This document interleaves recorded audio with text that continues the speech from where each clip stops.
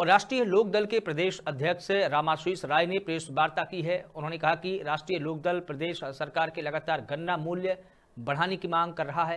यदि 23 दिसंबर किसान मसीहा चौधरी चरण सिंह की जयंती तक गन्ना मूल्य नहीं बढ़ाया गया तो बकाया भुगतान नहीं हुआ तो राष्ट्रीय दल के पदाधिकारी और कार्यकर्ता राष्ट्रीय अध्यक्ष समेत सभी 26 दिसंबर को लखनऊ में घेराव डालेंगे और आंदोलन करेंगे। इस दौरान मुख्यमंत्री को ज्ञापन भी सौंपा जाएगा।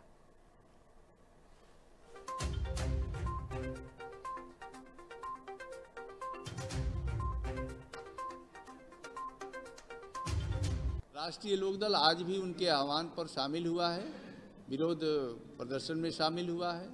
हम इसकी निंदा और भर्सना करते हैं कि आज तक आज़ादी के इतिहास में ये काला अध्याय जोड़ा गया है।